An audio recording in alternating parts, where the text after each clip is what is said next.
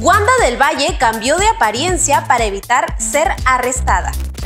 Este 6 de diciembre, la expareja del abatido delincuente alias Maldito Cris fue capturada al sur de Bogotá, en Colombia.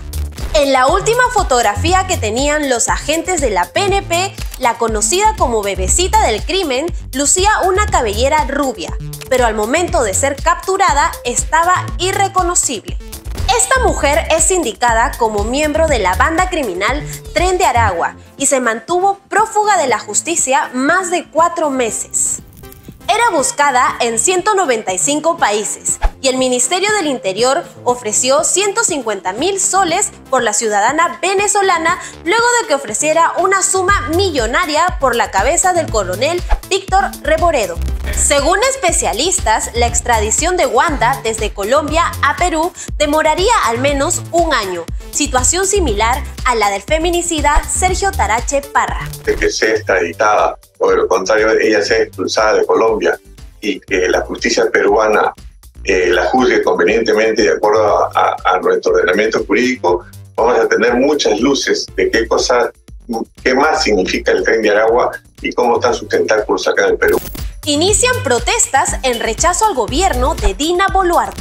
A un año de que asumiera la presidencia del país, sindicatos y dirigentes piden el cierre del Congreso y la renuncia de la fiscal de la Nación, Patricia Benavides. Una de las regiones que ya empezó a manifestarse fue Arequipa. Entre ellos se encuentran movilizaciones sociales, bases sindicales y agrupaciones universitarias, quienes anunciaron protestas hasta el día sábado. Además, en horas de la mañana, más de 50 mercados cerraron en Arequipa, mientras que los comerciantes marcharon por las calles. 38 personas dieron positivo a arsénico en Guarmey. Según el titular de la Dirección Regional de Salud de Ancash, Luis Valverde, estas cifras corresponden a los años 2022 con 13 casos y 2023 con 25 casos.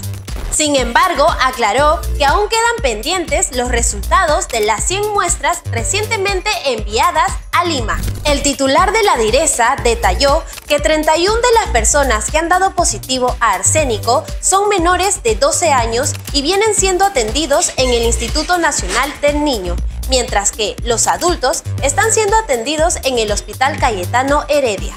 Según la OMS, el arsénico es muy tóxico en su forma inorgánica, ya que puede causar cáncer y lesiones cutáneas. También se ha asociado a enfermedades cardiovasculares y diabetes.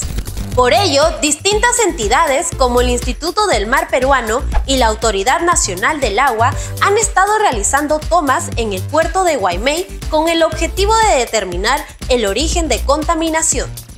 Si quieres saber más de las noticias que te hemos contado, puedes ingresar a los siguientes links y suscribirte.